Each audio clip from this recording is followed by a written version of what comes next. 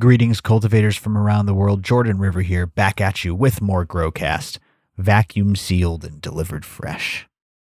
Today, Marybeth Sanchez is back on the line, one of my favorite human beings. This episode is wonderful. We talk about IPM in springtime, we talk about nuances of pest management, we talk about pollinators and companion planting, and so much more. I know you're going to love today's episode. But before we jump into it with Marybeth Sanchez, shout out to AC Infinity, baby.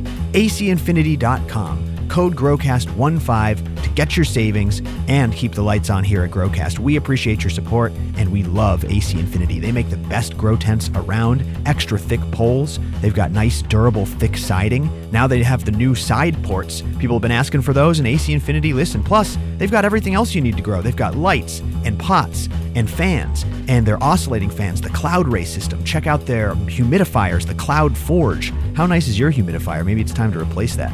The CloudRays are my favorite oscillators on the market. And of course, their CloudLine series, what they got it all started with. All those years ago when we were partners with AC Infinity, all they made were those inline fans, and they're the best in the game. So shout out to the entire AC Infinity suite. They've got everything you need to get growing from fans to tents to lights. Code GROWCAST15 works at acinfinity.com. You support us and you're getting some badass durable grow gear while you're doing it. So thank you to all you listeners using code GROWCAST15 and thank you to AC Infinity. Okay, let's get into it with Marybeth. Thank you for listening and enjoy the show.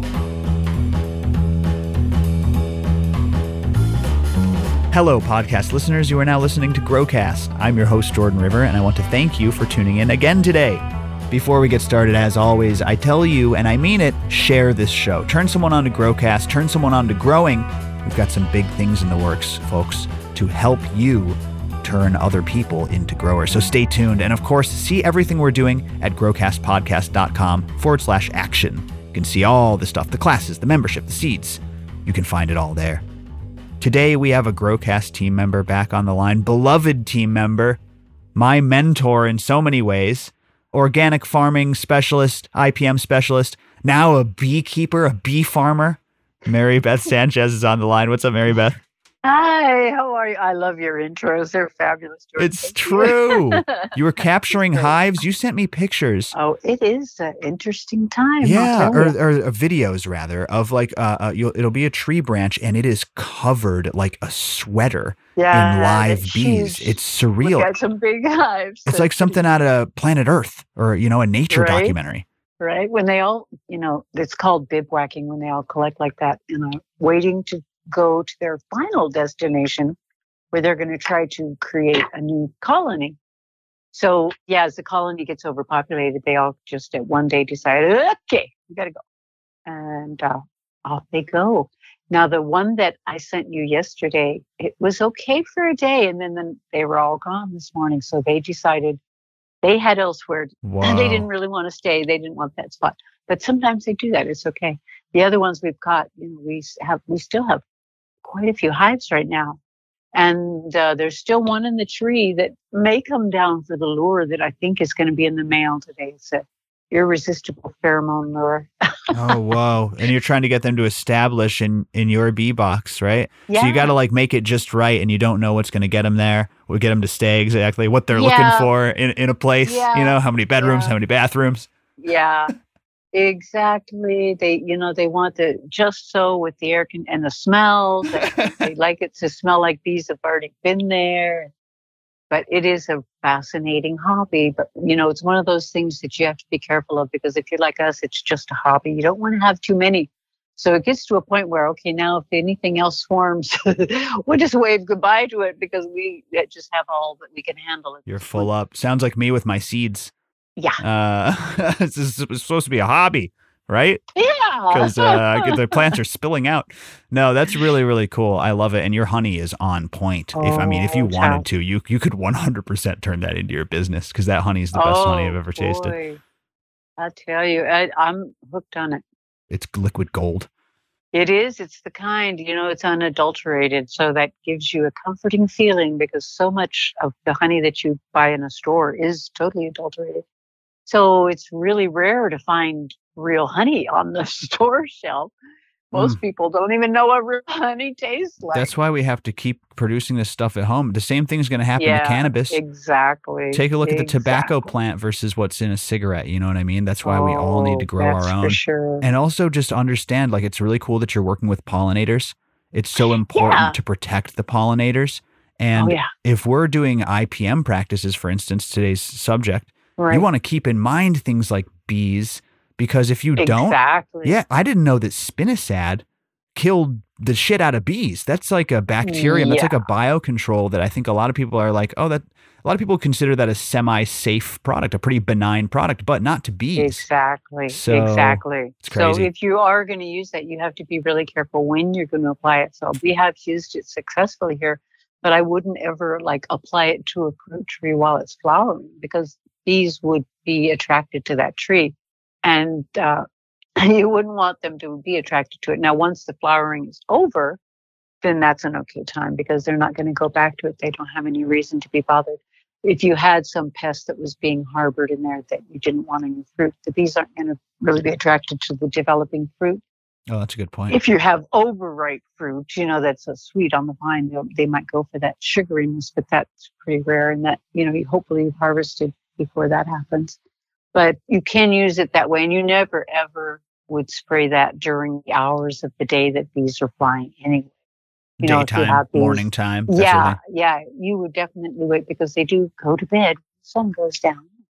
If you had to spray something like that, that's when you would apply it, and you definitely, like I say, wouldn't put it near things where the bees are. They have flowers they'd be attracted to.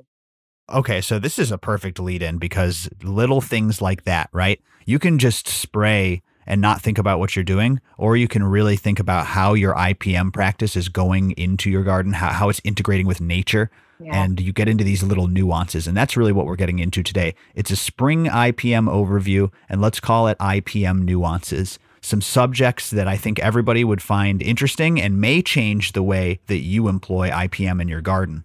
There's a lot of indoor growers that listen to our show, but a lot of outdoor growers too.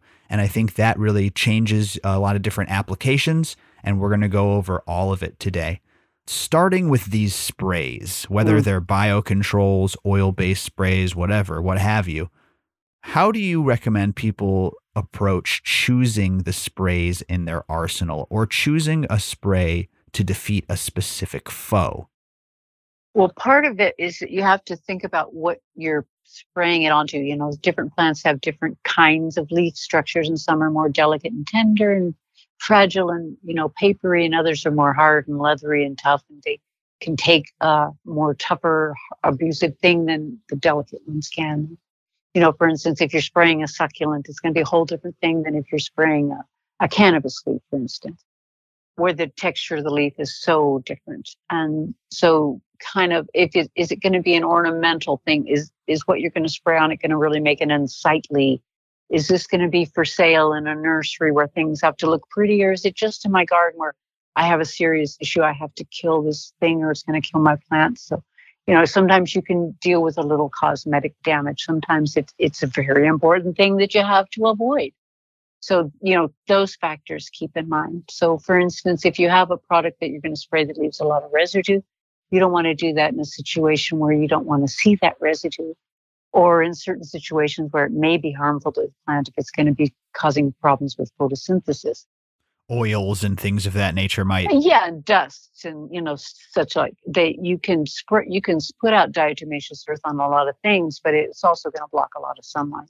Right. Oh, that makes a lot of sense. Yeah, the dusts and, and things of that nature. And it looks uns it looks kind of ugly. You know what can I say? Right. It's true. That is absolutely true. but sometimes it looks isn't the issue. So sometimes you got to do what you got to do. So and you know weigh what is the factor that's most important.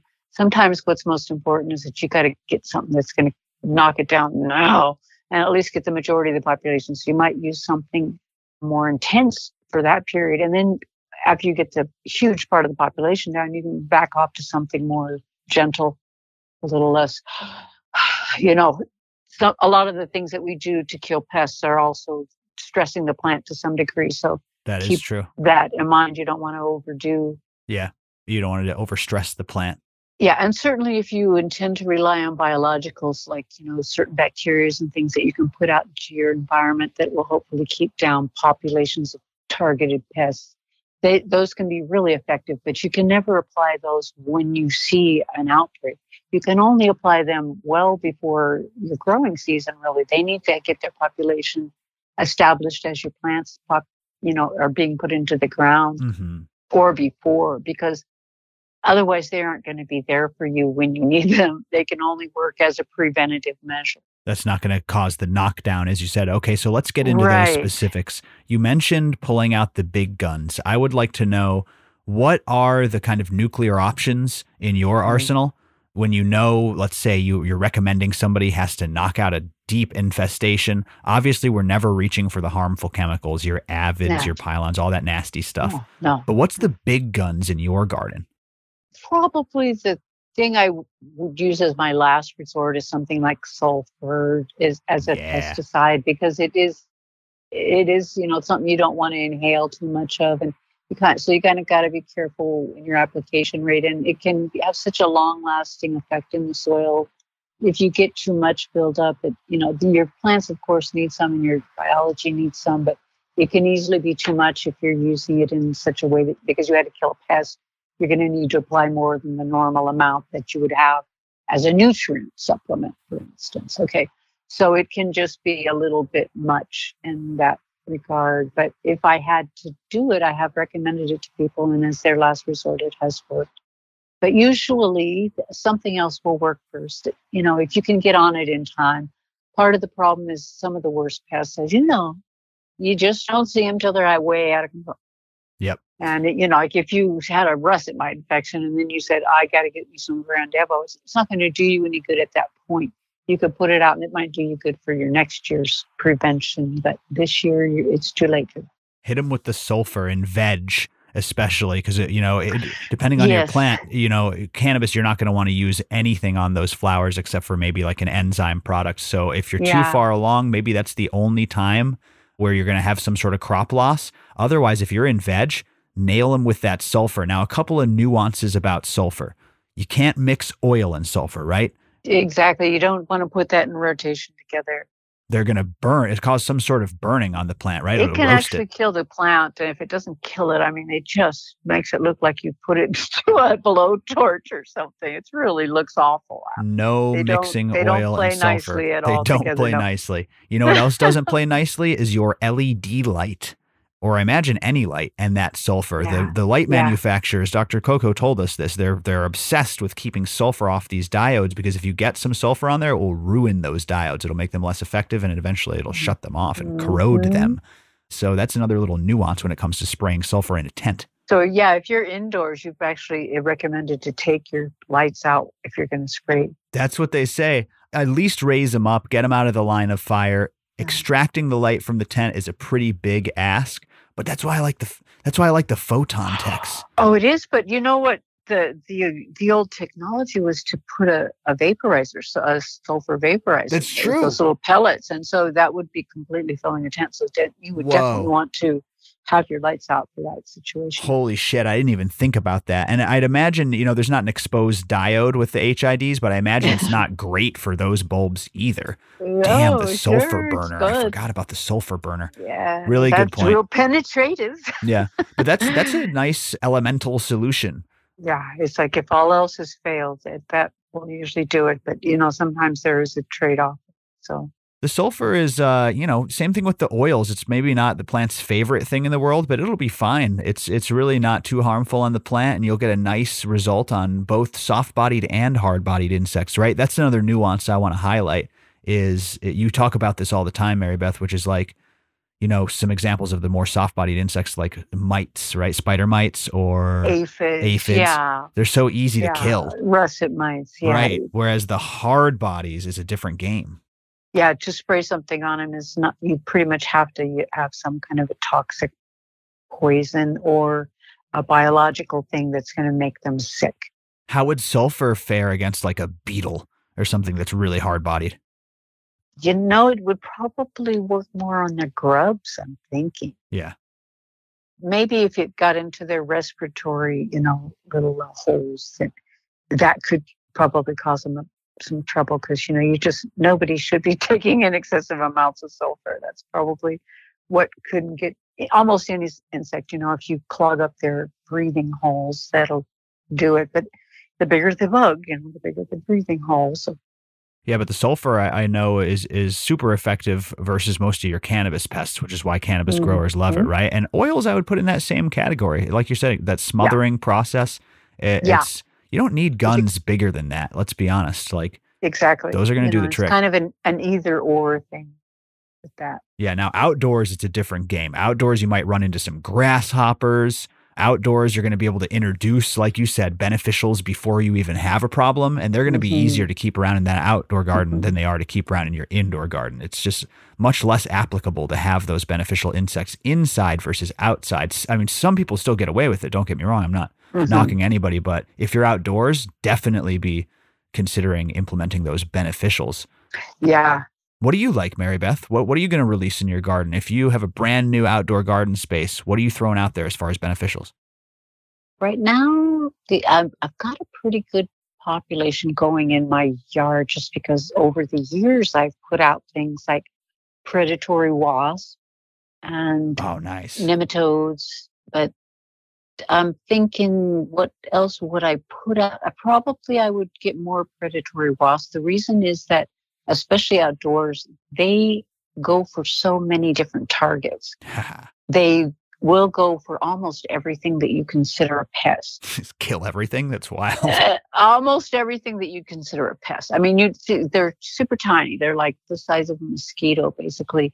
But they go and they parasitize things, and they are pretty good at getting around to just about every kind of thing that you consider a pest in your outdoor garden. Yeah, if I was born with a poison sword on my ass, I'd probably want to use it on everything too. Yeah. You know what yeah. I mean? Yeah. Well, if I start seeing cucumber beetles, I will spray spinosad, but like I say, that would be after the sun's gone down and not during the time when flowers are blossoming. And right now, flowers are blossoming. That doesn't last very long. The next thing you know, the fruit starts forming, and then uh, you can. It's safe to do that after, you know, the bees have gone to bed but that would be only if I saw them. If I don't see them, I'm not going to just put it out if I don't because it works fairly quickly once you do, you know, and, and I usually only will see very few. I haven't had like a really what I call an infestation. It's, you know, here and there, there's some cucumber beetle, uh, those are ones with the little four lines down them, and they also come with the little spots down the back. Oh There's yeah, just two versions of those. Yeah, they're and they're like you know quarter of an inch or half an inch long. They, they're really visible, but they'll go around. They'll eat all these little veggies, and they'll eat holes in your cannabis, and they'll eat holes in every leaf that's tender and lovely. And you're just like, oh, stop it. So a lot of times I just go around and smash them with my hand. But if I notice there's a few, then I'll will think about okay, I'm gonna have to spray something. With the spinosad. Okay, so I want to mm-hmm. ask because uh, the spinosad is a bacterium, correct? Yeah. I yeah. think it was discovered. A member told me that it was discovered at some broken down uh, rum distillery or something. That somebody discovered it. No, actually, it was what they were mining bauxite in Jamaica that because right? that's what they need to make aluminum. And bauxite is one of those vital minerals for making aluminum and they had a mine there and for some reason it was found in that mine uh, and nowhere else oh that's fascinating that, that, anyone's ever found on earth and so all that they've cultured since then is from that original strain oh, okay. but it seemed to have this effect where it would uh, get into an insect and make it sick and you know like kind of give it a flu or some sort. Why certain insects and not others? Like or, or more specifically what does it work on right? Because i've used it for thrips with great success and that was yeah. indoors where i don't really worry about bees. Mm-hmm. you know what i mean? Um, i don't yeah. hear it for i don't hear it being used for things like spider mites. It's just interesting how it affects some things and not others. Well you know that's true of most almost all pesticides if you look at the labels that tell you these are the targeted insects that they you know none of them are going to tell you that it takes care of 100% of that's just fascinating of, of everything. Well yeah because they have you know something in their biology something that makes them immune to it or, or whatever or, or super susceptible you know in the case of the ones that are being killed. But yeah you know they all have something something going on in That's their different wild. systems so yeah if there's something you can use and Beauveria bassiana is another one that if i feel i need to i will use it but uh, that's really rare because it is so broad spectrum. And I want more diversity in an outdoor garden, especially because we've got like three acres and we're in the woods. So diversity is usually not hard to achieve. Okay. I okay. just don't want to be killing off absolutely everything, but we are susceptible to all kinds of things coming in. yeah, absolutely. So that Beauveria's broad spectrum, really good biocontrol, but you want to keep that diversity. They say it doesn't kill the bees, but I'm always a little precautious. And you know, like I say, you wait till the sun goes down to spray anything really, just because of the moisture and the droplets, if nothing else. You know, we don't want to do that magnifying, burning with the sun thing. The FOOP, everyone. Certified organic nutrients, clone gel, and more. Huge thank you to The FOOP. You can find them at thefoop.com, code GROWCAST always. The FOOP was the presenting sponsor for the Community Cup. It was the biggest, most impactful event Growcast has ever done, and FOOP made it possible. Not only do they care about saving the environment and making organic nutrients that don't harm the wildlife and habitats around the world, but they also care about the cannabis community enough to put on the Community Cup. Huge thank you to the FOOP. There at thefoop.com, you can find certified liquid organic nutrients made from fish waste, everything your plant needs. Plus, their mist is an amazing foliar, also completely organic, based off of the nutrients. They've got a clone gel that I absolutely love. I get these beautiful white, fuzzy blooms every time I take clones, thanks to the Foop clone gel.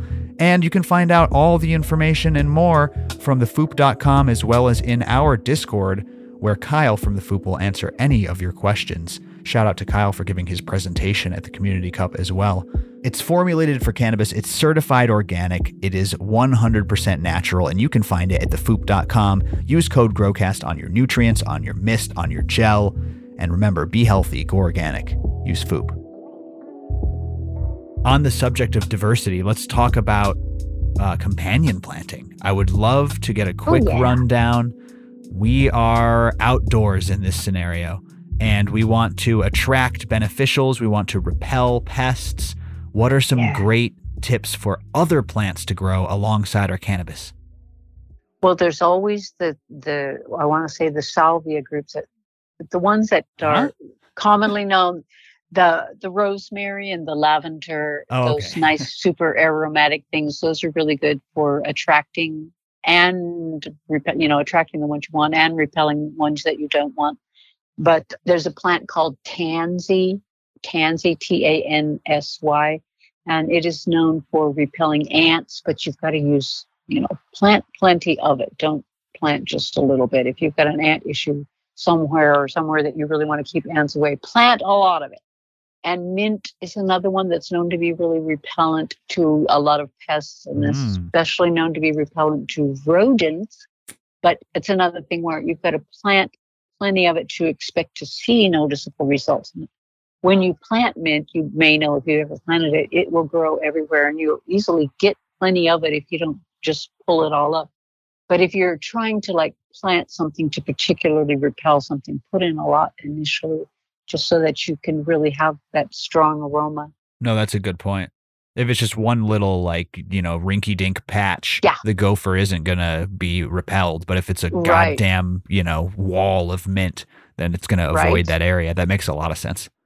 And you can put things in your potted plants like uh, garlic and onion, put them in along with whatever else you're planting, and that will repel a lot of insects from the soil area a little bit because of the strong aromas there that a lot of pests just don't like it. Now, um, under the soil, like we talked about the other day, neem is a good thing to put in the soil, but just to have those aromas going out into the world of the onion and garlic all around your plants helps a little bit to keep things away and it doesn't harm whatever you're growing. It's just part of that. Things growing, you know, all in the same pot can you can grow a lot of things all in the same pot, but you're not going to get an infestation of anything on your onions or whatever. Nice. I've never seen it happen. a lot of the aromatic uh, plants, you're saying rosemary, lavender, mint, these are all Uh-huh. super aromatic Yeah. herbs, essentially.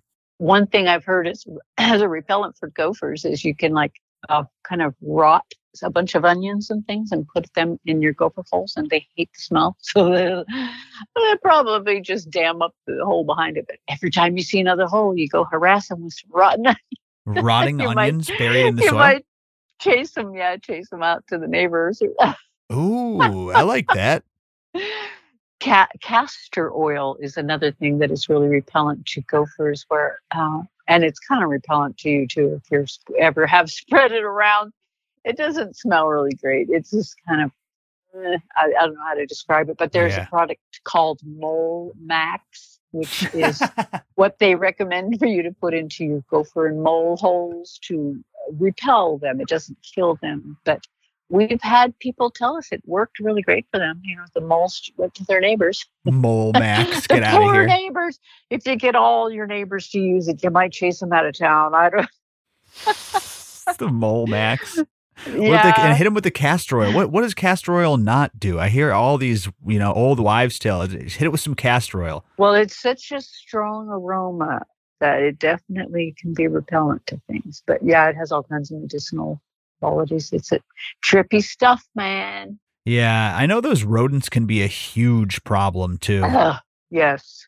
A lot of people have to plant with a, a wire around their stem, you know, just put some kind of chicken wire or um, I'm trying to say steel wool or something where you put it around your stems just to keep the dang things from chewing your stem. Because mm-hmm. they will come and do this it's a whole different ball game. What do you need to get like a BB gun? You know what I mean? Like you said, physical physical barriers at that point, yeah. which you can't use on smaller insects and pests, obviously. But once you get to the size of rodents, it's like you're trying to keep them out. I like the wall of mint. That's a good um, like druidic approach to attacking the moles. and yeah, that's that's just really tough because they'll fuck up your garden really, really bad. I had yeah. some success with garlic barrier there Steve Raisner, a good friend of the show, Steve Raisner, was like, get some garlic barrier, which pros and cons. Pros, the stuff really worked. Like it seemed to really repel a broad spectrum of of things, even the scorpions. Oh, wow. Not to the degree that I wanted to, but it helped. It was clearly helping keep away all sorts of different pests. The downside is this stuff was essentially just pressed garlic and it was expensive. It was like $80 for the fucking jug. So I'm Ooh, thinking I might could just press your own garlic. I might press my own garlic for eighty dollars. Um, yeah. you know what I mean? Start my own yeah. garlic barrier business, maybe, because yeah. it was really expensive for what amounted to uh, something that I could have grown and pressed myself. So maybe if yep. you um, if you have the money or if you have a garlic press, you might want to look into uh, garlic barrier. It's a very cool That's product. It. And I think they also threw in capsaicin. I think was this kind of secret yes. ingredient. So it's yeah. hot and you spray it around the yard and your your yard smells delicious. Steve said your whole yard smells like Thai food, which is kind of true. Really nice. yeah. The stronger the smells, the more repellent it's going to be to the various pests. Right. And if you want to uh, attract beneficial insects, you're looking for more plants with the tiny kind of flowers or with the disc flowers like the sunflowers or the yarrow, um, things like that with a flat surface. Oh, really? They love to walk in there and just pollinate, pollinate. Oh, and I tell you, poppies are super attractive. Oh, I've never heard that. I love that. Sm- smaller flowers and ones that are shaped like discs. Uh, yeah, yeah. Whoa. The flowers that are, are going to attract the most uh, little tiny predator, you know, things like the wasp and things they especially love the little tiny ones because they can access those with the, the pollen and nectar super easily, one after another. Yeah, so they're very, very attractive to them. They've got a lot of long term food source in there. And if, uh, you know, as they're carousing around your garden, they'll see little things up close that you don't see at all. and they'll go, yeah. oh, yeah. That's crazy. I like that. Yeah. they'll go parasitize various uh, insects that you are not wanting in your garden. What uh, other flowers do you recommend planting for attracting or repelling or just just because? Mm, just because. well, just like I think things that uh, have a lot of pollen and nectar are really nice, but a lot of the you know things that are just like pollen and nectar things were like the uh, apple trees, the fruit trees, things like that. They'll have a really short duration of flowering. Uh-huh. And so you, you want to have something that's flowering at all times of the year. Some things will flower early spring, some things will flower late spring, some early summer. You want to always have something going on so that there's never a period of time where there's nothing flowering because you know even if it isn't their favorite flower they might go to their not so favorite flower just so long as there's some flowers going on. Oh, is that why like milkweed is milkweed one of those flowers? Is that why they recommend you plant those?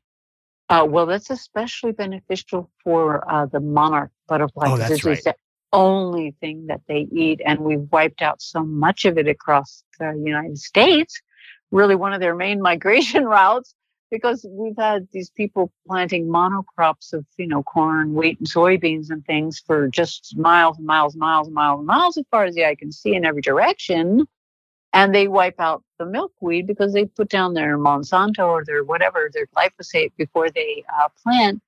And so where does the where does the monarch get any food? I mean, for miles and miles and miles, it's really, really hard. So the monarchs have suffered. And so they do encourage you to plant milkweed everywhere you can. It does become somewhat invasive, but it's also really easy to pull out if you are getting too much of it. So, you know, you can keep a balance there so that there's some food for these poor innocent monarch, and uh, you can still enjoy your garden.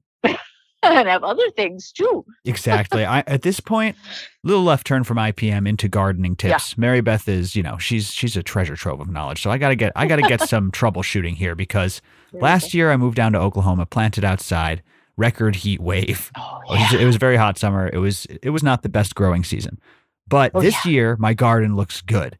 But I'm still like just basically going with what works. For instance, I got the butterfly milkweed out there and I couldn't keep it alive. So oh. here's my first question to you. I have had, we're just going in blind. I'm just your average grower.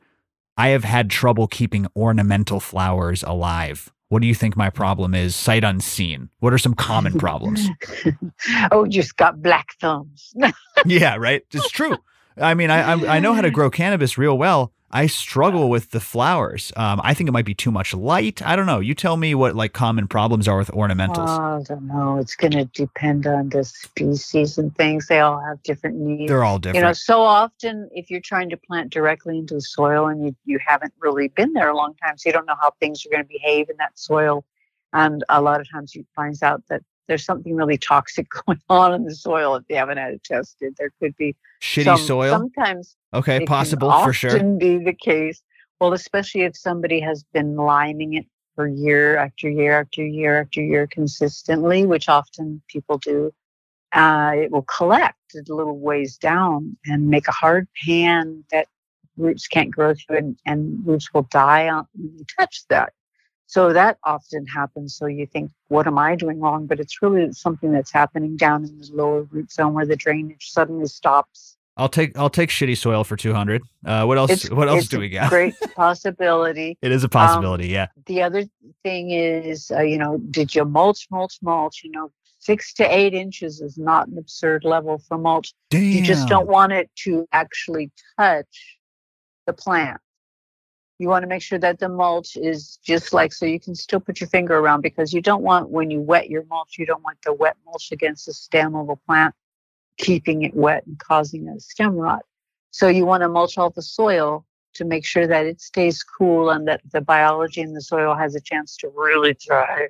But literally you can go six to eight inches Whoa, with mulch with like no that. weirdness because it keeps breaking down breaking down breaking down. So you know you have to replenish it as time goes by your perfect mulch scenario looks different than mine. You're saying, first of all, oh. thicker than mine. And then also around the base of the plant, you have just a little bit of exposed bare soil because you don't want it directly yeah. coming. Yeah. That's beautiful. I like to like, so at least I got a, you know, the size of my finger. I want at least that the sure. length of space between just a the little stem gap. and the mulch.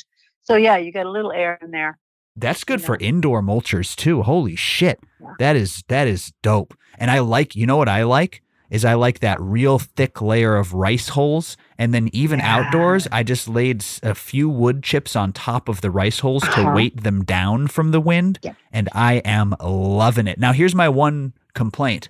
When I need to go add seeds to my bed, I just need to dig through that mulch, right? You don't you don't plant them into exactly. the mulch. Exactly. No, yeah. no, you actually have to pull it back if you're planting seeds or seedlings, you know, and when when they get a little bit more established, then you put it up around them, but you know, like I say, not actually touching, but as close as you can get without touching. And that should do the trick. You know, you want them to have that soil temperature to a happy place for the roots. And so often it's the soil temperature is what really throws them. Because yeah. if you have a good mulch, your your soil temperature will stay usually pretty consistent at a, a level uh, at a, a, temperature that's comfortable and happy for the plants. Whereas if you have just a really thin mulch or uh, no mulch at all, oh god, I mean, you literally the roots just get baked.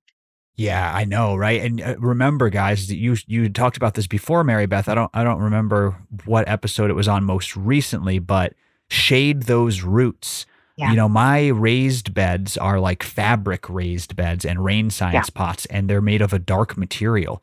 And so I need yeah. to put something over those on the sun side to make sure that the sun isn't just beating into that bed and heating it up and cooking the root zone. Oh, especially if you're in a plastic pot. They really, literally, you can take your plants out of a plastic pot that's been sitting in like hayfork sun on a, on the afternoon, and it they're black.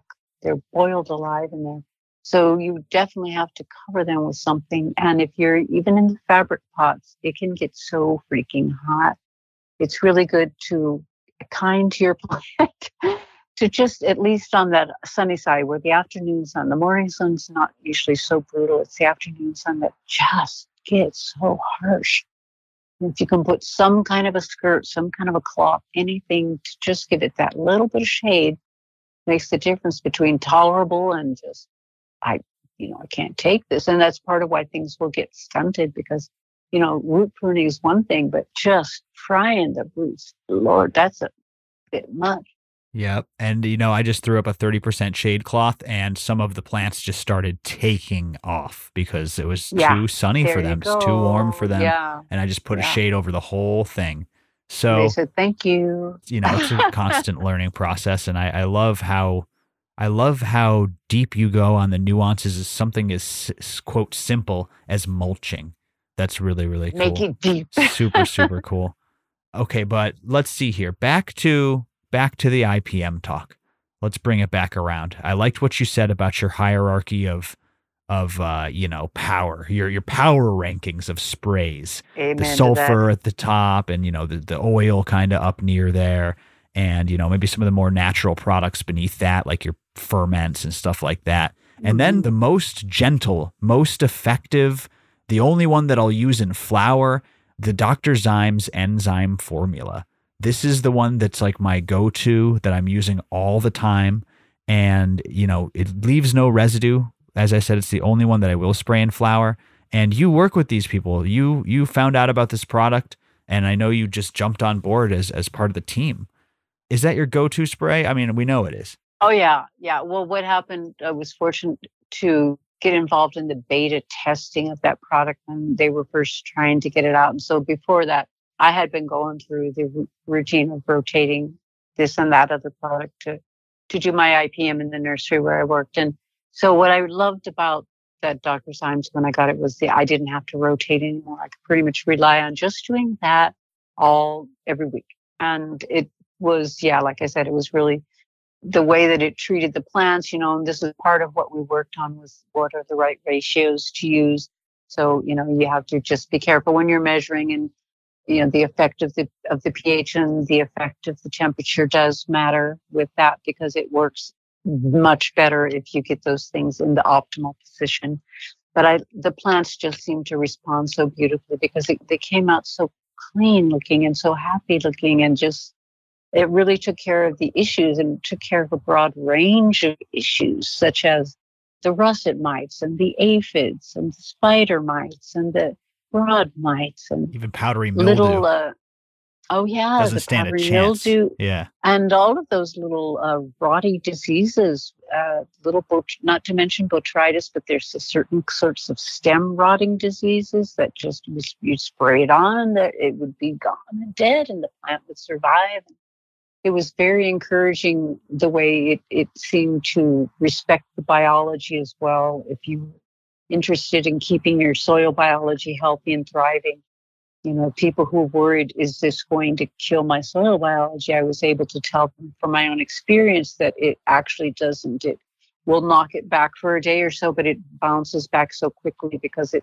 the soil biology is actually strong enough to survive even uh, a drenching with Dr. Zymes if it's beneficial biology. The the beneficial thing about the not beneficial biology is that it's easier to kill. It is uh, able to be wiped out and not return. Whereas the beneficial biology will return in just, uh, like I said, a day or two. It, it bounced right back, even when I was applying Dr. Zymes directly right. to my compost heap. So equivalent to like a soil drench type of situation. Yeah, really drench and direct high, high dosage. So it's like, hey, that was pretty neat for me to discover and really see for myself.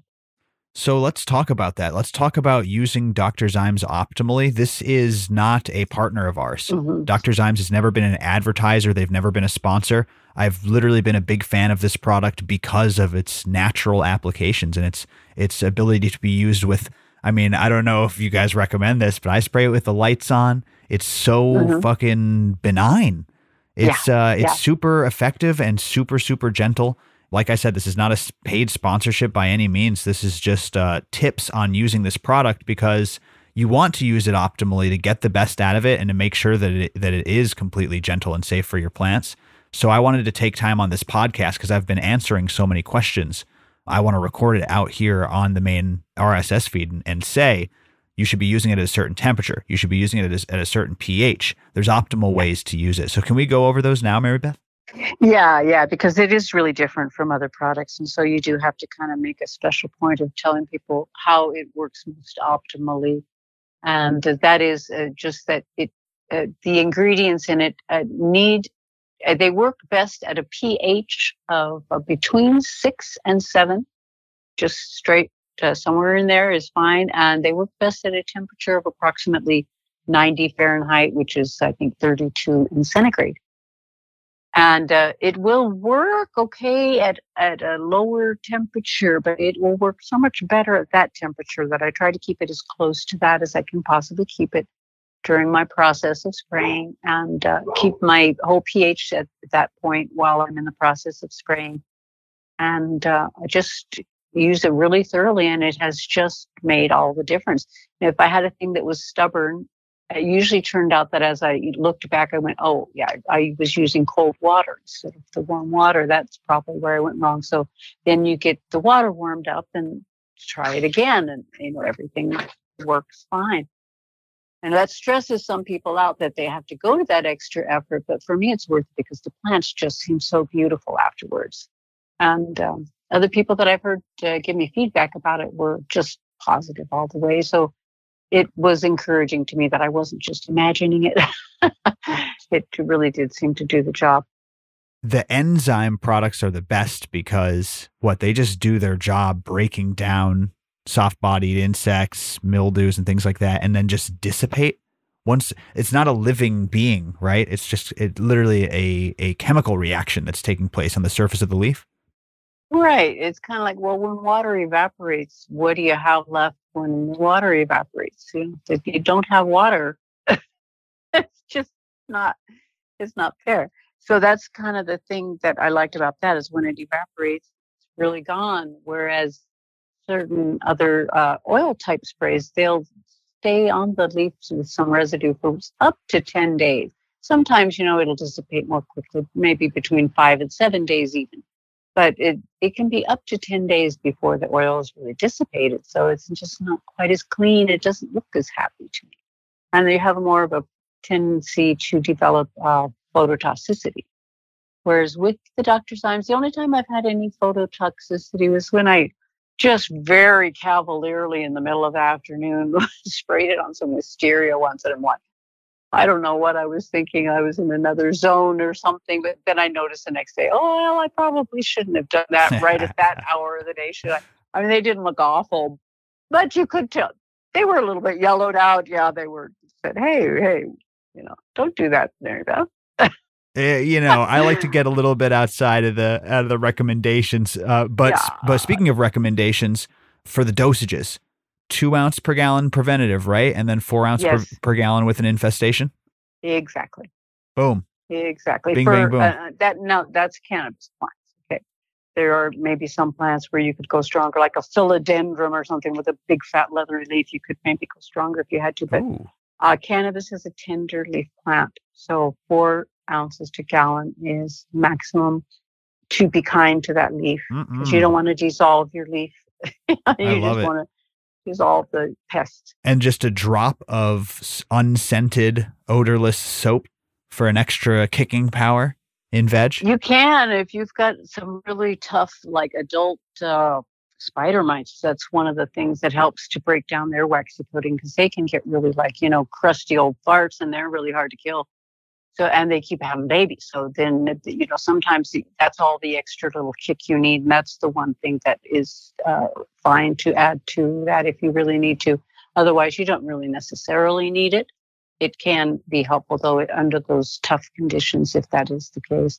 And I would definitely, you know, want to be not really spraying much in the light if I was using any soap additive at all, because soap tends to be the primary burner of plants if you're getting that under the lights. So do it in the evenings or do it in the lights out period.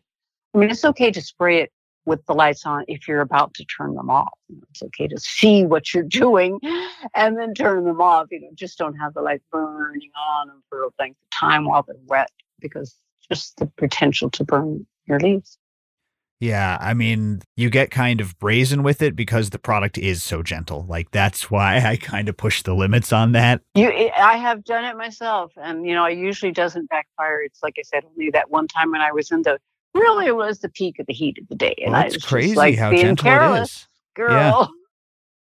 I wash my hands in this stuff. I use it as a cleaner. It's it's a really interesting product, and uh, if you use it properly and and to the specifications that Marybeth has outlined, I think you'll like Mhm. it too. So yeah, we just res- we support them here. yeah, yeah. It doesn't give you any skin irritation. It doesn't have any weird toxic odors. It's like really nice if you accidentally get it on your skin. It's actually not, not an okay thing to wash with, to bathe with, even. It's safe for you know skin contact and all that kind of thing. The bottle, of course, has to label to be precautious because it's sold as a pesticide, and that's a legal requirement. But in reality, you can actually bathe in it, and I have. I'm not joking. I do. I do wash my hands in it. It works well. It works well for it's uh, a good pet wash. resin. yeah.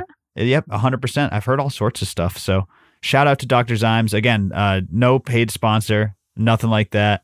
We do love them and we've been talking about them for years. Yes, and they're also helping out with Pestapalooza, sending uh, samples Oh, out. sweet. But yeah, we've been supporting them for years and we're going to continue because the IPM field is so toxic and it's such a big part of uh, the damage Yeah. that's being done by farming Yeah. that when a product like that can come out that's you know virtually harmless it's so cool like that's what we need to that's what we need to talk Yeah. about on shows like mine so i, I just want to shout them out Yeah, thank you. No toxic stuff in there.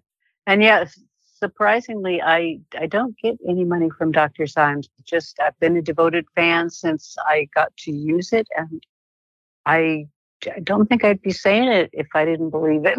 it would bug me too much. you know what I mean? It would offend my sensibilities. we're going to have them on the show as soon as possible um, maybe we can work something like that out where where we can do a marybeth interview or we'll talk about that for sure because yeah i just i love talking about these types of products and and the organic Oh, yeah. producers out there Yeah. uh, thank you marybeth this was a lovely episode thank you for spending this time with me today It has been my pleasure, sir, and we can do it again one day. Yes. and hopefully it'll be as glorious a day as today. Well, you are just the best, Marybeth. We appreciate you so much. You're such a great member of the community, and I, I just want to say thank you on air. We love you. We love everything you're Oh, about, all your education. Again, helping in the order of cultivation. Seriously, appreciate you so much.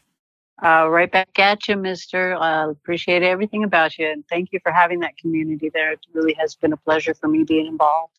Oh, you're the best. You're the best. All right. Thanks, Go enjoy your lovely Take day, Care. and good All luck right, with the swarms. All right. Take care. Bye. Bye, Marybeth.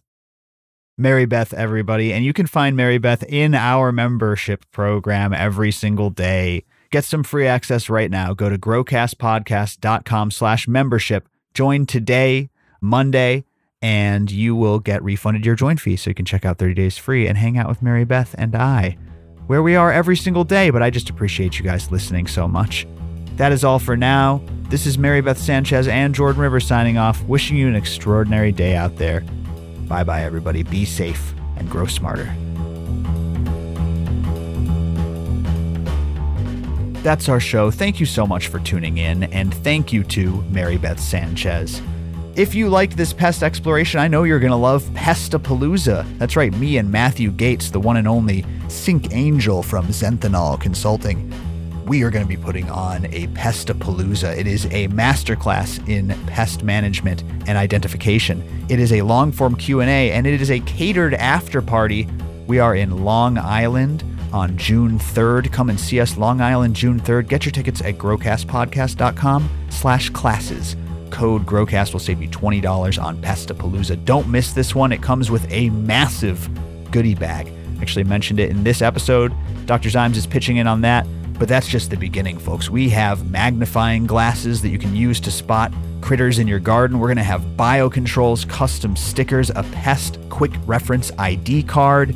You're going to love the Pestapalooza class and the gift bag and the after party. Come and see us. LI Hydro, thank you to Long Island Hydro for hosting us. That is Saturday, June 3rd in Bethpage, New York. Get your tickets, everybody. Code GROWCAST at growcastpodcast.com slash classes. Can't wait to see you there so we can burn one together and hang out with Matthew Gates. All right, everybody, that's it for today. Thank you so much. We have more Growcast coming at you. Yeah, I'm going to go burn down the rest of this joint and call it a day. Thank you for tuning in. Stay tuned. We got more. You know it. Love you all. Bye bye.